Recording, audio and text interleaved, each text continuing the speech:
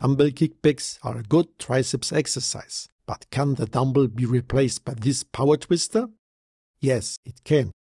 Place the power twister on a towel on your knee and with both hands press the handles down as far as you can. If you grip further inwards, the exercise becomes stronger. Watch this. Or you can train with a bigger power twister like this one. Hold the power twister diagonally against the towel. One handle is held down on below the inner thigh. The other hand pushes the other end down. I prefer this variation because the triceps are trained in a full range of motion.